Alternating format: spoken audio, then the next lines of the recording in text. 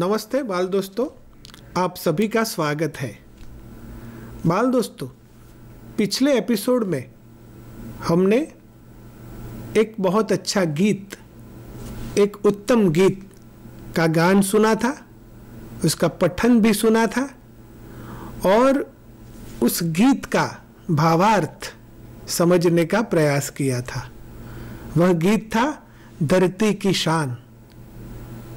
आपने इस गीत को काफ़ी पसंद किया होगा। आप गाते भी रहते होंगे इस गीत को, अपने घर में भी। इस उत्तम गीत का जो संदेश है, इस गीत में जो बोध है, उससे भी हम भली भांति अच्छी तरह से परिचित हुए थे। आज हम इस गीत के बारे में ही बात करने वाले हैं। साथ में एक अन्य गीत भी हमें सुनना है जो हमारी पाठ्य पुस्तक में दिया गया है, उस गीत सुनने के बाद हम इस इकाई का अभ्यास और इस इकाई का जो स्वाध्याय है, उससे भी परिचित बनने वाले हैं। तो शुरू करते हैं। पहले सुनते हैं हम एक नया गीत। तो आप तैयार हो जाइए सुनने के लिए। नदिया न पिए कभी अपना जल, वृक्ष न खाए कभी अपना फल।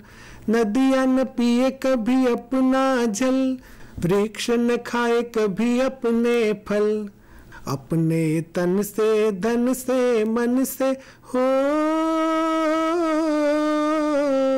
अपने तन से, धन से, मन से देश को दे दे दान रे, वो सच्चा इंसान रे, वो सच्चा इंसान रे। नदिया न पिए कभी अपना जल, वृक्ष न खाए कभी अपना फल। नदिया न पिए कभी अपना जल, वृक्ष न खाए कभी अपना फल। अपने तन से, धन से, मन से हो। अपने तन से, धन से, मन से देश को दे दे दान रे। वो सच्चा इंसान रे, वो सच्चा इंसान रे। चाहे मिले सोना चांदी, चाहे मिले रोटी बासी चाहे मिले सोना चांदी, चाहे मिले रोटी बासी। महल मिले बहु सुखकारी, चाहे मिले कुटिया खाली। महल मिले बहु सुखकारी, चाहे मिले कुटिया खाली। चाहे मिले कुटिया खाली। प्रेम और संतोष भाव से हो। प्रेम और संतोष भाव से करता जो स्वीकार रे, वो सच्चा इंसान रे, वो सच्चा इंसान रे। चाहे करे निंदा कोई, चाहे कोई गुणगान करे चाहे करे निंदा कोई, चाहे कोई गुणगान करे। फूलों से सत्कार करे, कांटों की चिंता न करे। फूलों से सत्कार करे, कांटों की चिंता न करे। कांटों की चिंता न करे। मान और अपमान दोनों हो। मान और अपमान दोनों जिसके लिए समान रे, वो सच्चा इंसान रे, वो सच्चा इंसान रे। नदिया न पिए कभी अपना जल, वृक्ष न खाए कभी अपना फल अपने तन से, धन से, मन से, हो। अपने तन से, धन से, मन से, देश को दे दे दान रे। वो सच्चा इंसान रे। वो सच्चा इंसान रे। वो सच्चा इंसान रे। तो बाल दोस्तों, मज़ा आ गया है ना? सुनने में मज़ा आया। आप गाओगे तो गाने में भी मज़ा आएगा और आपकी किताब में यह गीत दिया गया है। यह भी मनुष्य की बात करता है, मनुष्य का गौरव करता है और अच्छी तरह से कैसे जिया जाता है। अच्छा इंसान कौन है? हम इंसानियत से कैसे बरत सकते हैं? हमारा बर्ताव इंसानियत से सबर कैसे हो सकता है? इसके बारे में, इस गीत में बढ़िया तरीके से, बहुत अच्छे तरीके से बात की गई है। तो गाना सुनने में मज़ा आया तो हम आगे हैं और स्क्रीन पर कुछ देखते हैं। तो देखते हैं स्क्रीन। बाल दोस्तों, यहाँ अभ्यास के प्रश्न दिए गए हैं। इन प्रश्नों के बारे में हम बात करेंगे। निम्नलिखित प्रश्नों के उत्तर लिखिए। तो आपको इन प्रश्नों के उत्तर लिखने हैं। यहाँ पहला प्रश्न इस प्रकार है। आप क्या क्या कर सकते हैं? बहुत अच्छा सवाल है, बहुत अच्छा प्रश्न है। आप क्या क्या कर सकते हैं? आपको सोचकर जवाब देना है। मैंने यहाँ आपके लिए उत्तर लिखा है। मैं पढ़ता हूँ, आप अच्छी तरह से सुने। हम पर्वत पहाड़ों को फोड़ सकते हैं, नदियों के मुख को भी मोड़ सकते हैं, माटी से अमृत निचोड़ सकते हैं, धरती को आकाश से जोड़ सकते हैं मतलब कि हम बहुत कुछ कर सकते हैं। तो आगे देखते हैं। दूसरा सवाल इस प्रकार है, विविध क्षेत्रों में मनुष्य ने क्या क्या प्रगति की है? मनुष्य की प्रगति के बारे में यह सवाल है तो हम इसे भी देखते हैं। मनुष्य ने विविध क्षेत्रों में प्रगति की है। उसने नदियों पर बंद बांधे हैं, ज़मीन पर चलने वाले, पानी में तैरने वाले और आकाश में उड़ने वाले यान बनाए हैं। इसी तरह उसने टेलीफोन और मोबाइल फ़ोन जैसे प्रत्यायन के साधन भी खोज निकाले हैं। कंप्यूटर का आविष्कार भी अपने आप में एक बड़ा आविष्कार है। तो मनुष्य की प्रगति के बारे में यह सवाल था और हमने यह उसका उत्तर देने का प्रयास किया है। उत्तर इस तरह भी हो सकता है, आप अपने तरीके से भी लिख सकते हैं, लेकिन उस उत्तर में मनुष्य की प्रगति की बात आनी चाहिए। तो आप अच्छे तरीके से इस सवाल को पढ़ लें उसका उत्तर भी अच्छी तरह से जान ले और बाद में लिखे। तो फिर अब आगे भी देखें। दोस्तों, तीसरा सवाल इस प्रकार है, अन्य जीवों से मनुष्य महान कैसे है? तो इसके बारे में भी देखते हैं। अपनी बुद्धि के कारण मनुष्य अन्य जीवों से महान है, क्योंकि मनुष्य के पास बुद्धि है, मतिमान है। गीत में था ना, मतिमान। तो मतिमान है, बुद्धिमान है मनुष्य। और इसके कारण ही इसने इस सृष्टि पर आकर इतनी प्रगति की है, इतना विकास किया है। चौथा सवाल जो है, चौथा जो प्रश्न है, वह इस प्रकार है। बाल दोस्तों, काव्य में उल्लिखित प्रकृति के तत्व बताइए और उनके समानार्थी शब्द दीजिए। इस प्रश्न का उत्तर भी देखते हैं। काव्य में उल्लिखित प्रकृति के तत्व इस प्रकार है धरती, पर्वत, नदी, माटी, अंबर, अग्नि और पवन। अंबर माने आकाश, वह आप जानते हैं।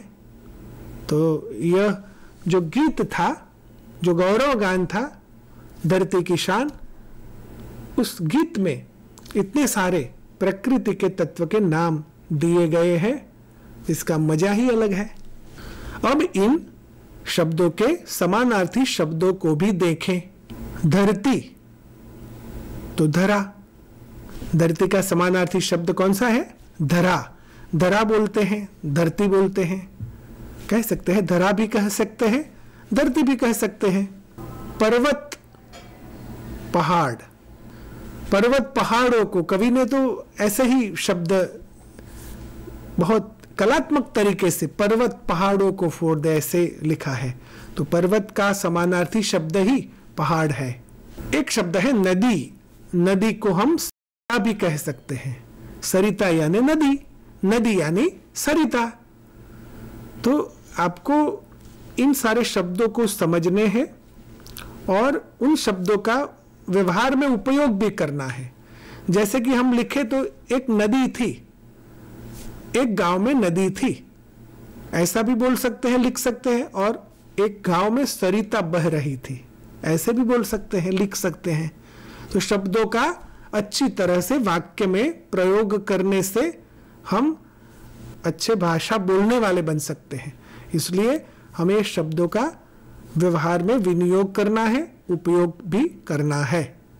माटी माटी से अमृत निचोड़ दे।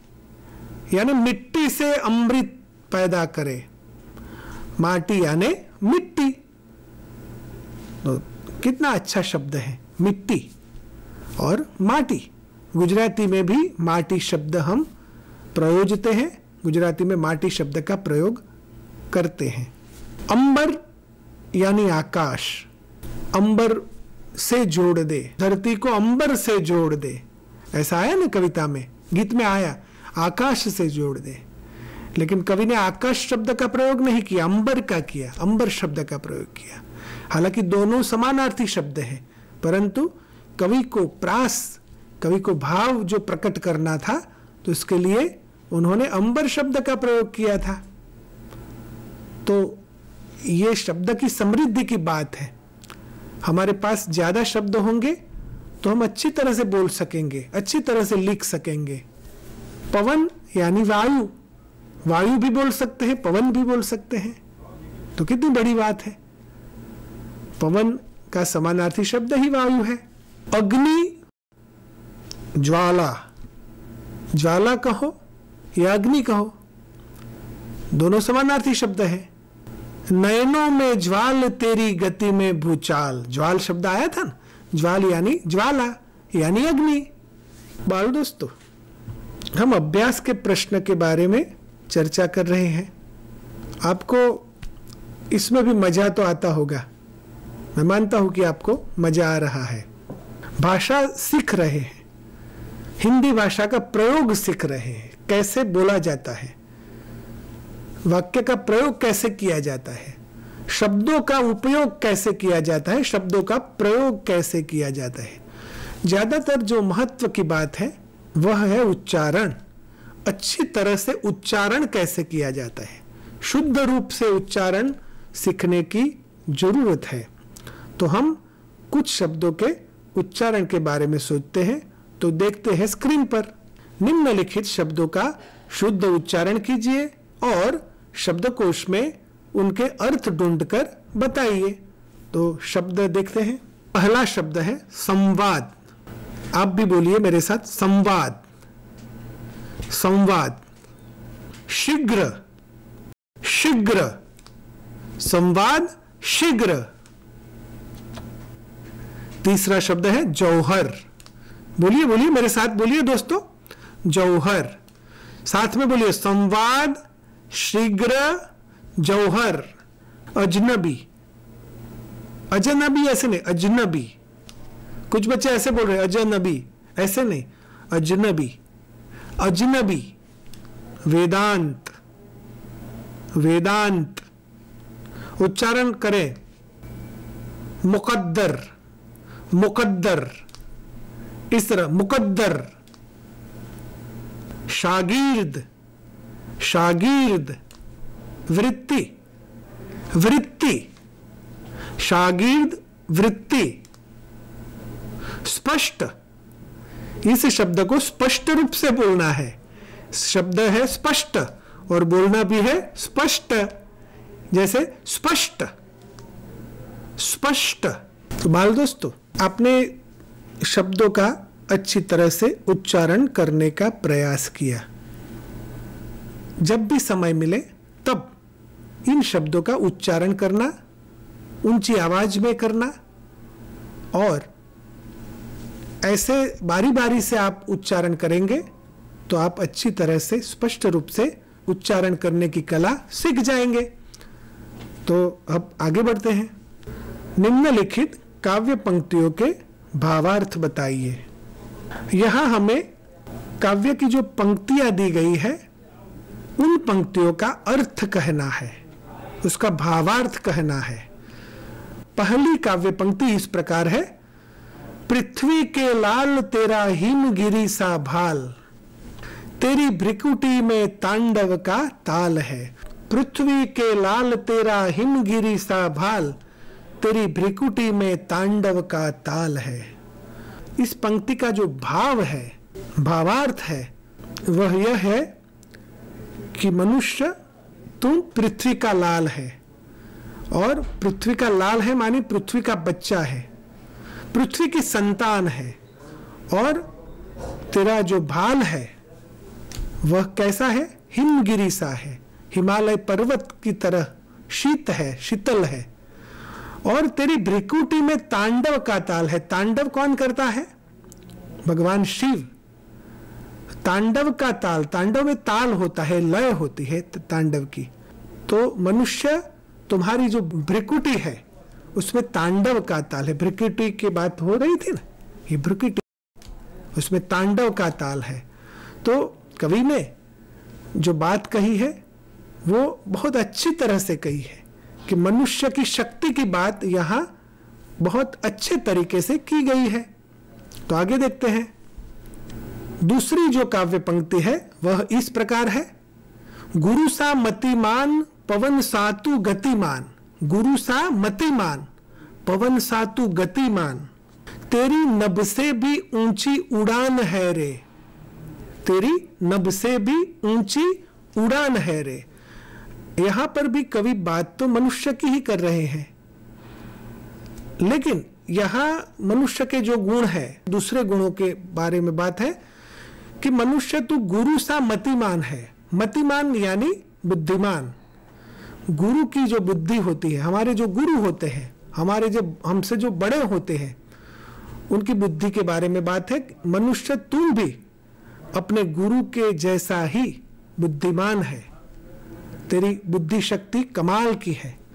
और पवन साथ तू गतिमान है, बुद्धि तो है ही, साथ में तेरी जो गति है, वो कैसी है? पवन की तरह है। तुम्हारी गति में काफ़ी वेग है, पवन के जैसा वेग है।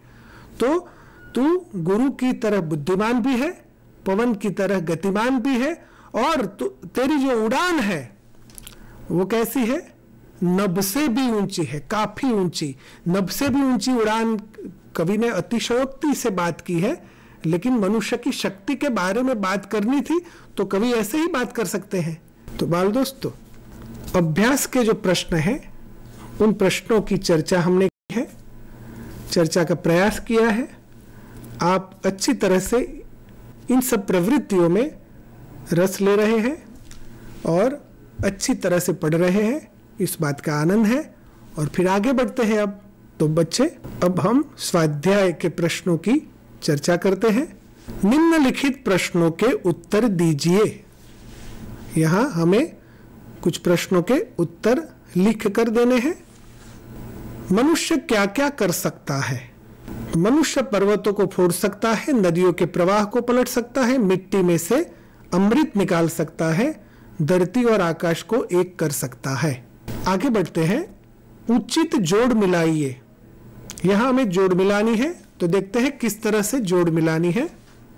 मनुष्य की आत्मा में क्या है? स्वयं भगवान है। किताब में दिया गया है ना? अलग अलग वाक्य दिए गए हैं, आधे आधे वाक्य दिए गए। मनुष्य की आत्मा में किताब में लिखा था, युग का आह्वान है पहले। लेकिन सही जवाब क्या है? मनुष्य की आत्मा में स्वयं भगवान है। हमने कविता में भी देखा, हमने गीत में भी देखा, तेरी आत्मा में स्वयं भगवान है। तो मनुष्य की आत्मा में, और सामने लिखेंगे, स्वयं भगवान है। मनुष्य के नयनों में ज्वाल है। क्या है? ज्वाल है। मनुष्य के नयनों में क्या है? ज्वाल है। नयनों में ज्वाल तेरी गति में भूचाल, ऐसा हमने देखा ना? मनुष्य की भ्रिकुटी में क्या है? तांडव का ताल है। मनुष्य की भ्रिकुटी में तांडव का ताल है। मनुष्य की वाणी में क्या है? युग का आह्वान है। मनुष्य की वाणी में युग का आह्वान है। मनुष्य की छाती में क्या है? मनुष्य की छाती में महाकाल है। मनुष्य की छाती में क्या है? महाकाल है। तो इस तरह से हमने अच्छे तरीके से जोड़ मिलाने का प्रयास किया। फिर आगे बढ़ते हैं। निम्नलिखित प्रश्नों के सही विकल्प के सामने निशानी करनी है तो हम करते हैं। मनुष्य चाहे तो काल को भी थाम ले, रोक ले, जान ले। मनुष्य चाहे तो काल को भी थाम ले, मनुष्य चाहे तो काल को भी रोक ले, मनुष्य चाहे तो काल को भी जान ले। तो यहाँ कविता के हिसाब से हमें जवाब देना है, हमें खरा करना है। तो मनुष्य चाहे तो काल को भी थाम ले, कविता में भी आता है ना, चाहे तो काल को भी थाम ले, ऐसा हमने पढ़ा, सुना और हमने गाया भी। मनुष्य चाहे तो काल को भी थाम ले। दूसरा जो वाक्य है, मनुष्य चाहे तो धरती को, मनुष्य चाहे तो धरती को क्या कर सकता है? देखते हैं। फोड़ दे, युग का आह्वान दे, या अंबर से जोड़ दे। आप सोच ले मनुष्य चाहे तो धरती को फोड़ दे, मनुष्य चाहे तो धरती को युग का आह्वान दे, मनुष्य चाहे तो धरती को अंबर से जोड़ दे। तो आप अच्छी तरह से समझ गए हैं कि मनुष्य चाहे तो धरती को अंबर से जोड़ दे। तू जो चाहे धरती को अंबर से जोड़ दे। ऐसा हमने पढ़ा था ना? याद है ना? बहुत अच्छा। मनुष्य चाहे तो माटी से। यादा वाक्य है, हमें उसमें आपूर्ति करनी है। मनुष्य चाहे तो माटी से क्या कर सकता है? मुख को भी मोड़ दे अमृत निचोड़ दे, दुनिया बदल दे। मनुष्य चाहे तो माटी से मुख को भी मोड़ दे। मनुष्य चाहे तो माटी से अमृत निचोड़ दे और मनुष्य चाहे तो माटी से दुनिया बदल दे। सही जवाब, बताइए, सही उत्तर, सही विकल्प, मनुष्य चाहे तो माटी से अमृत निचोड़ दे। आता है ना? गीत में आया था। तो आप जान गए हैं, मनुष्य चाहे तो माटी से अमृत निचोड़ दे। स्वाध्याय कर रहे हम, ये तो। अपने तरीके से करना होता है स्वाध्याय, खुद ही करना है। लेकिन इधर मैं आपकी मदद कर रहा हूँ।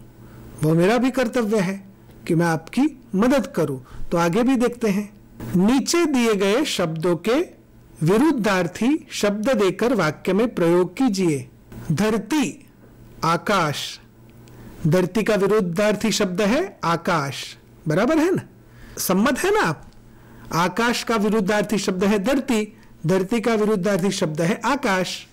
अब देखें, मैंने एक वाक्य का प्रयोग भी किया है। पक्षी आकाश में उड़ रहे हैं। पक्षी आकाश में उड़ रहे हैं। आकाश शब्द का मैंने उपयोग किया। दूसरा शब्द था अमृत। माटी से अमृत निचोड़ दे। अमृत की बात हुई थी। तो अमृत का विरुद्धार्थी शब्द है विष, जहर। सांप का विष जान लेवा था। अब समझ गए ना इस विष का मतलब? सांप का विष कैसा था? जान लेवा था। वरदान शब्द का विरुद्धार्थी शब्द है शाप। तो इसके बारे में भी एक वाक्य सोचते हैं। सती ने दुष्ट को शाप दिया। सती स्त्री थी। सती स्त्री ने दुष्ट को शाप दिया। सती ने दुष्ट को क्या दिया? शाप दिया। बाल दोस्तों, अब और भी एक सवाल हमें देखना है।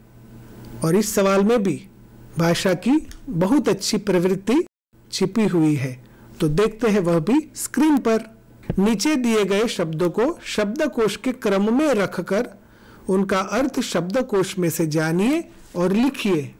शब्द इस प्रकार है, तूफ़ान, वरदान, नयन, शीश, आईना, जंकार।